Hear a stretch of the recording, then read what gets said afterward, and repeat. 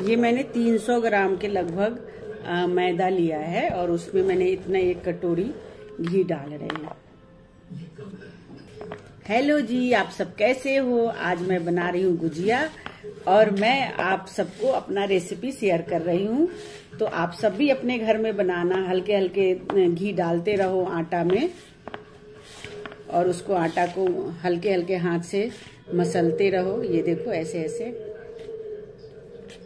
आप देख सकते हैं कि ये आटा जो है मिक्स करते करते अब इस तरह का हो गया कि आप इससे लड्डू भी बना सकते हो, ये देख सकते हो इसे। अच्छे से बन गया है। अब मैं इसको कवर करके एक घंटे के लिए छोड़ देती हूँ। इस पन्नी से कवर कर देती हूँ।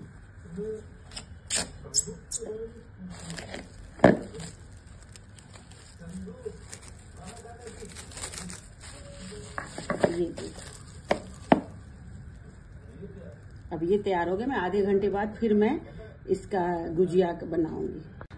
अब मैं गुजिया के लिए ना शुगर सिरप बना रही हूँ सौ चाशनी बोलते हैं।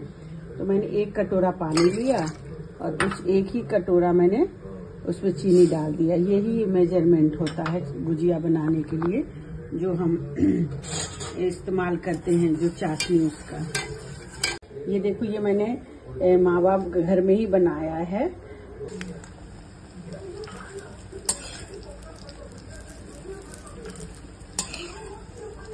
ये घी में फ्राई कर देने से थोड़ा सा इसमें टेस्ट और ज़्यादा आ जाता है। ऐसे तो कच्चा भी तोड़ के डाल सकते हो। ये मैंने नारियल का जो थोड़ा सा क्रस्ट नारियल था मैं उसको भी फ्राई करके हल्का सा भून लेती हूँ।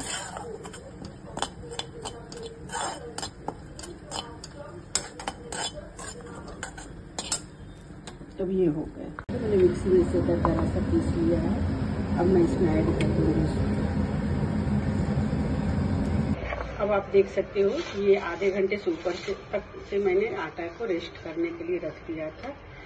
मैं अब मैं इसको पेड़ा बना के और फिर मैं छोटा छोटा रोटी बना लेते आप देख सकते हो कि सारे पेड़े मेरे बन गए। हेलो जी, अब मैं आपको ये रोटी बना के दिखाती हूँ। न मोटा न पतला एक तरह का आप बना सकते हो। आपको जितना बड़ा गुजिया चाहिए होता है, आप उसी तरह का रोटी बनाते जैसे मैंने ये बनाया देखो आप देख सकते हो, मैंने सारे रोटी बना के रख लिए हैं। इधर मेरा घी गर्म हो रहा है और उधर मेरा चाशनी बन चुका है और ये मेरा स्टफिंग का है मावा। अब मैं आपको स्टफिंग करके दिखाती हूँ।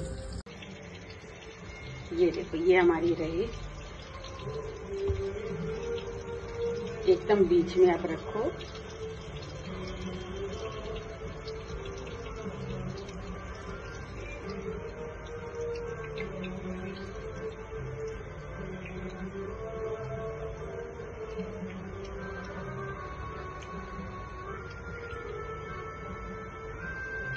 आप ये देखो कैसे मैंने बनाए। अब मैं इसको ऐड कर देती हूँ, इसमें तेल में डाल रही हूँ। तो मैं मैं घी में बना रही हूँ, आप कुछ में भी बना सकते। अगर आपके पास घी है तो आप घी में बना लो, नहीं तो रिफाइन में भी बन जाती है। उसमें, उसका भी स्वाद होता है। पर कोई भी खाना जो घी में बनता है, वो अलग ही टेस्ट आता है। इसलिए आप ज़्यादा कोशिश करो कि घी में बने।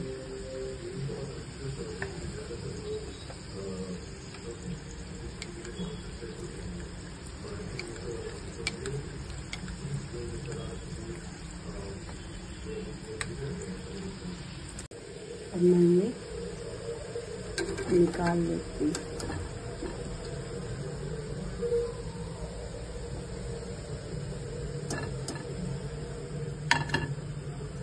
आप देख सकते हो, चाशनी का कलर चल चुका है इसको इधर मैं और भी फ्राई कर रही हूँ।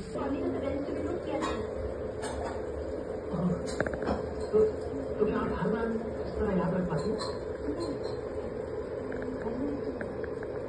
フフフフ。